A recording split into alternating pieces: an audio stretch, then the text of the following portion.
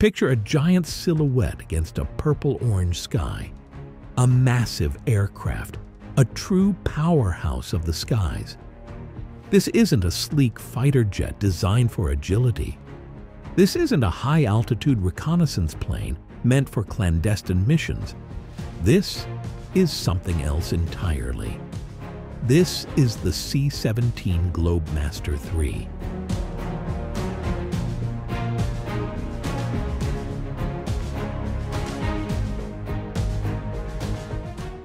The king of strategic airlift, the aircraft that made it possible for the USA and its allies to move troops, vehicles, humanitarian aid, and heavy equipment across continents at a moment's notice.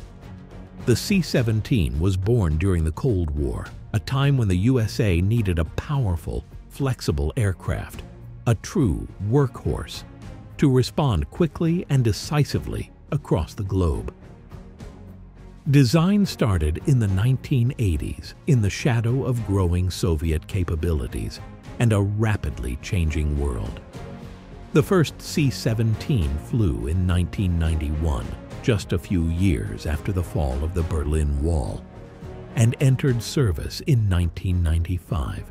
For nearly 30 years, this massive aircraft has supported operations from Afghanistan to Kosovo, from Iraq to humanitarian missions after earthquakes and hurricanes. Today, nine air forces around the world from the USA and the UK to Australia, Canada, India, and the Gulf states, operate this versatile giant. Designed to carry a staggering 170,000 pounds of cargo and troops directly into forward operating bases, often under challenging conditions, the C-17 quickly became the USA's most reliable heavy airlifter. It filled a unique role in a changing world not just a cargo hauler, but a symbol of power projection. Where previously only large airports could handle heavy aircraft, the C-17 was designed to operate from much shorter runways, about 3,000 feet, allowing it to bring aid, soldiers, and equipment directly into the theater of operations. But now, we find ourselves at a crossroads. The C-17 is a Cold War design, robust, reliable, yet growing older by the day. As the U.S. Air Force evolves toward a more dispersed, flexible way of projecting power, a future defined by forward bases, short or non-existing runways, and a growing need for agility, the C-17's legacy role is in question. So what comes next? Some say we should restart production, modernize and produce a C-17 2.0. Boeing itself reports ongoing inquiries from international customers. The Air Force might find this cheaper and faster than designing something from scratch, much in the way the C-130J replaced its predecessor. But the future might demand something more radical some innovators like Aurora are developing a new kind of aircraft. The short takeoff and vertical landing aircraft Aurora designed for dispersed operations and forward bases. Picture a large transport with a blended wing body and lift fans, capable of vertical takeoff and landing, delivering troops and equipment directly into hard-to-reach areas. This isn't a C-17. This is something entirely new. Meanwhile, companies like SpaceX propose an even more dramatic solution, using rockets to move large amounts of cargo across the globe in under an hour.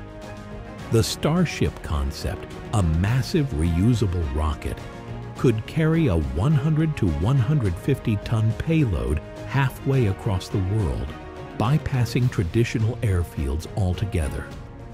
And then there's DARPA's Liberty Lifter, a hybrid ground effect vehicle designed to fly close to the water, delivering heavy equipment directly to coastal areas. Designing, developing, and procuring a new aircraft is a massive investment, not just in dollars, but in years of effort and expertise. The Air Force is shrinking in size, reflecting a dramatic reduction in its number of aircraft and troops, compared to the Cold War era, when there were over 4,500 USAF fighter aircraft. Today, there are barely 2,200. This downsizing signals a future where large, specialized aircraft may become less numerous and more versatile. As we move toward 2040 and 2050, the role of large conventional airlifters might diminish, not disappear, but evolve. Some missions previously filled by the C-17 will be divided among a family of specialized platforms from drones and VTOLs to spaceplanes and blended wing lifters. Meanwhile, many C-17s will soldier on, supported by service life extension programs until their airframes become too worn for service. This powerful aircraft, a symbol of a bygone era of heavy, decisive, forward deployment, will slowly fade from view. Not all at once, but in a gradual, deliberate retirement. The C-17 was a triumph, a perfect blend of power, flexibility, and reliability that defined a generation of U.S. and Allied air power. As the world evolves, the missions it performs will be divided, specialized, and dispersed, reflecting a dramatic shift in how wars will be fought and supported in the future. But for now, when the USA or its allies need heavy lift, for soldiers, vehicles, aid, or life-saving equipment, the C-17 Globemaster III stands ready, a majestic giant, a legacy made of metal, human ingenuity, and an enduring will to respond, wherever and whenever it is called upon.